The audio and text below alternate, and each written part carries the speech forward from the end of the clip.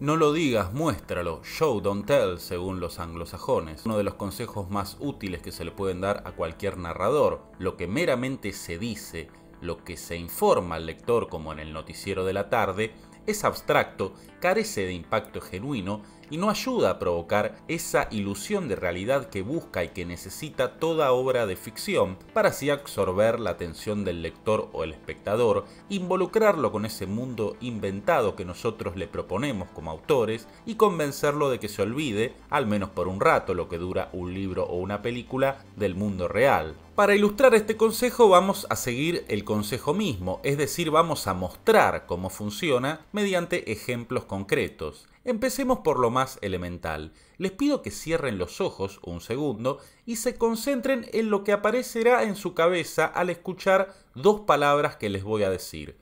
¿Están listos? Perfecto. La primera palabra es color. Bien. La segunda palabra es rojo. Ahora les pido que se hagan a sí mismos la siguiente pregunta. ¿Les apareció alguna imagen concreta en la cabeza cuando dije la primera palabra? ¿Y cuando dije la segunda? Muy probablemente el sustantivo abstracto color no haya creado ninguna imagen en su cabeza, más allá de alguna imagen arbitraria que les haya podido venir por cualquier otro motivo. Y es comprensible, ¿cómo dibujarían ustedes la palabra color si alguien se los pidiera? Y no me refiero a un color en concreto, sino al color en general, a la noción o concepto de color. Por eso a este tipo de sustantivos, como color, se les llama abstractos. No hay modo de materializarlos, de traducirlos, por decirlo así, a una imagen concreta.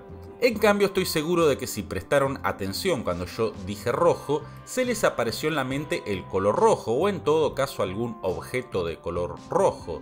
Rojo es un sustantivo concreto, aunque también puede funcionar como adjetivo. Igual acá lo que importa no es la clasificación semántica, sino lo que cada tipo de palabra provoca en nosotros y por ende provocará en nuestros lectores cuando nosotros las usemos.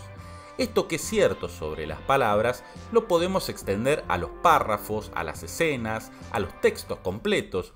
Uno puede iniciar una historia diciendo nevaba mucho y un hombre meditaba triste sobre su caballo flaco. Y puede ser un buen inicio, no digo que no. Quizás esa parquedad convenga a nuestro relato, todo siempre depende del contexto y de lo que intentemos hacer. Pero si nos damos a la tarea de comparar fragmentos aislados, no quedarán dudas de que es mucho más vívido y potente el comienzo de Tristeza, cuento de Anton Chekhov.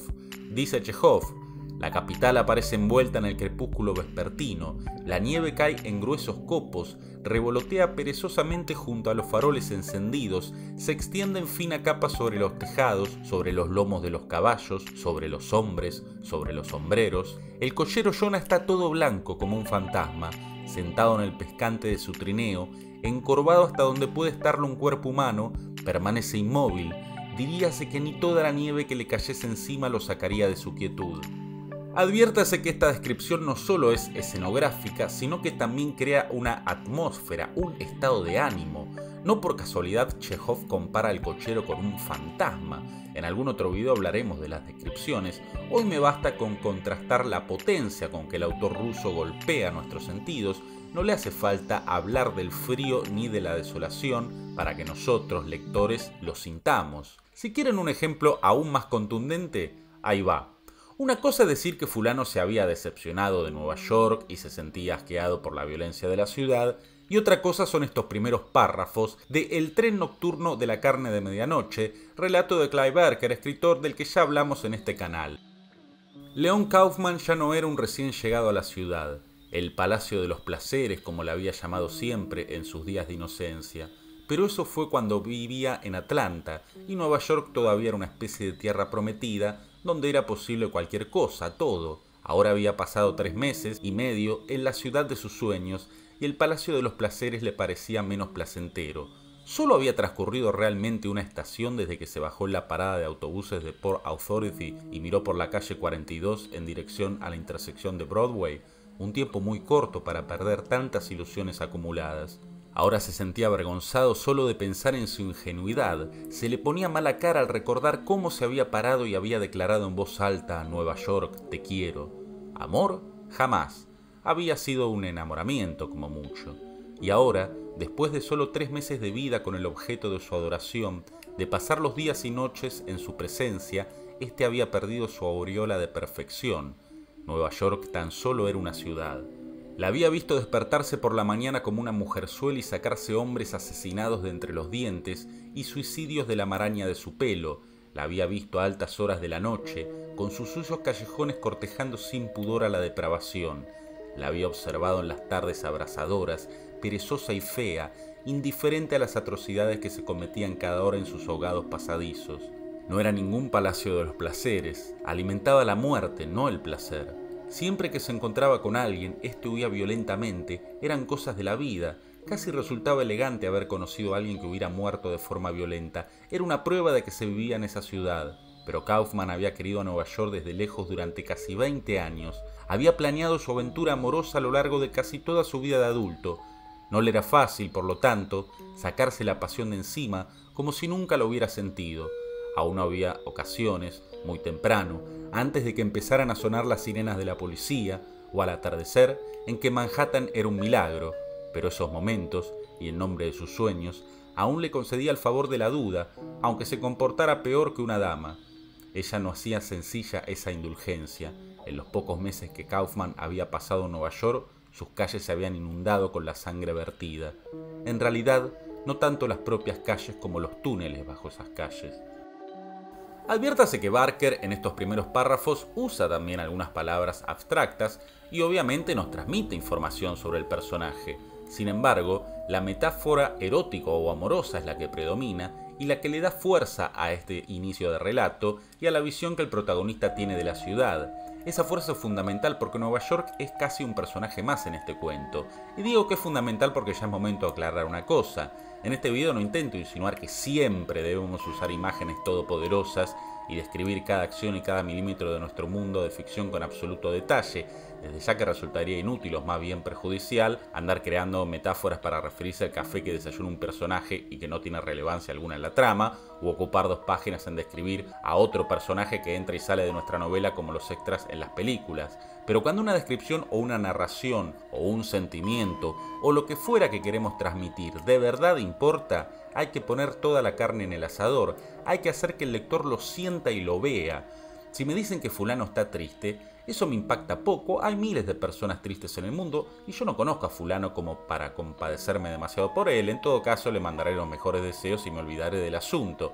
Pero si me dicen que la tristeza de fulano lo convirtió en un esqueleto andante, al que los ojos le cuelgan enrojecidos como brasas y que a cada paso que da parece que va a quebrarse como una rama seca, quizás me conmueva un poco más y me interese en saber qué demonios le pasó.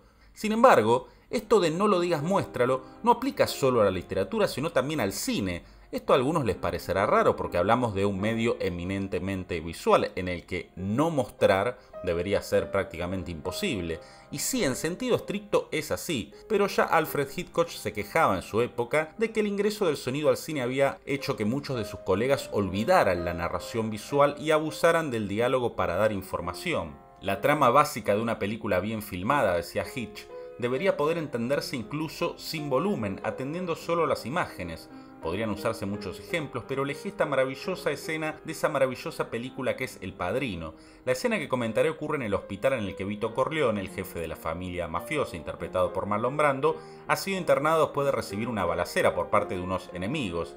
Michael Corleone, interpretado por Al Pacino, visita el hospital y se da cuenta de que a Vito lo vendieron, como decimos en Argentina. O sea, dejaron la zona liberada, sin seguridad. Vito está listo para que estos enemigos lo rematen y Michael sabe que ellos vendrán de un momento a otro a terminar la faena. Entonces Michael decide mover la camilla, esconder a su padre y en eso se encuentra con Enzo, un pastelero amigo de Vito y que también lo viene a visitar.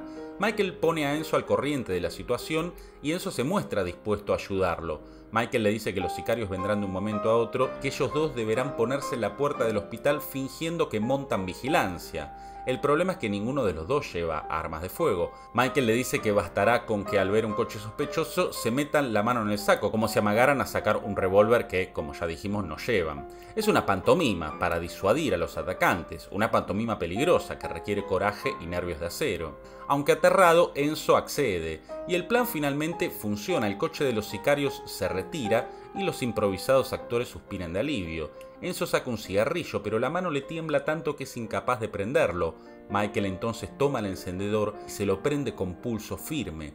Y esa firmeza de pulso, a la que Coppola le dedica un primer plano, le revela al espectador más o menos atento que Michael tiene lo que se necesita para acceder a su hasta hace poco insospechado destino, es decir, el coraje y los nervios de acero que se requieren para ser el jefe de los Corleones, el próximo padrino.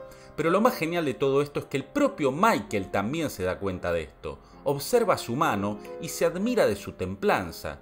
En efecto, muchas veces, en la vida real, uno no sabe si es o no un valiente o si es capaz de asumir determinada responsabilidad hasta que el destino lo pone a prueba, lo pone en esa situación. Y esta escena es en efecto una prueba para Michael y será vital para la película. Es la última prueba hasta el ritual iniciático que vendrá después, el derramamiento de sangre que Michael hace en un restaurante al eliminar a dos de sus enemigos, dispararles directamente. Un mal director hubiese puesto esta escena del encendedor en un diálogo, o sea que otro personaje, algún personaje relevante, le diría a Michael que él es el indicado, que es un hombre valiente, etc.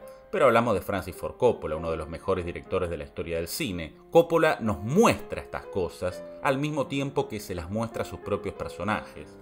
Espero que les haya gustado el video y que lo compartan y también que se suscriban, pongan like y todo eso que se dice al final de los videos de YouTube. Si no fui claro, si queda alguna duda, me comentan o si se les ocurre otro buen ejemplo, sea del cine o de la literatura, para mostrar esto de muéstralo, no lo digas. Esto es El Sur, Taller Literario, mi nombre es Alejandro, nos vemos la próxima.